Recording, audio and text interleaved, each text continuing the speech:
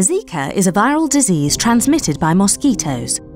It was first discovered in monkeys in 1947, but the first large outbreak in humans wasn't until 2007. Then, during 2013 and 2014, thousands more suspected infections were recorded.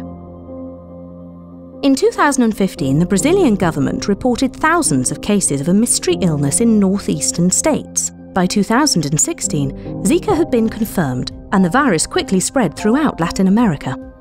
Soon, authorities began observing an increase in the birth defect microcephaly, and scientists from many different fields started assembling evidence to prove that Zika was the cause. Microcephaly is a birth defect which is linked to various different causes. It's a condition where a baby is born with a small head and brain, or the head stops growing after birth. During the Brazil outbreak, a very high rate of microcephaly was reported in the northeastern region compared to subsequent outbreak areas. This left the global scientific community questioning why were so many more birth defects detected in northeast Brazil? Were other factors at play?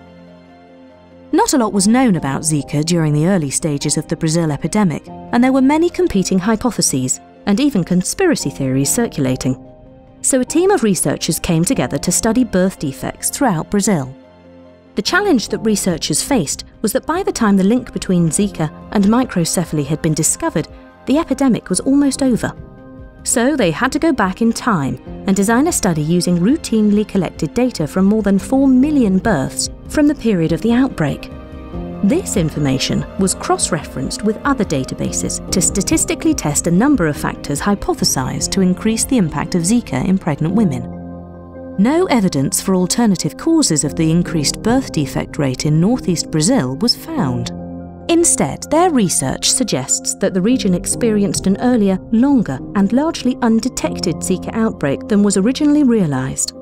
The virus may have been present from as early as 2013, but because the outbreak wasn't recognised, it may have not been controlled as effectively as later outbreaks. The study also found that there is little or no risk if infection occurs outside of the first or second trimesters. The study has important implications for potential future outbreaks of Zika, but we still know only a small proportion of what we need to know. That's why the global scientific community is continuing its research, with the aim of minimising negative outcomes in the next outbreak.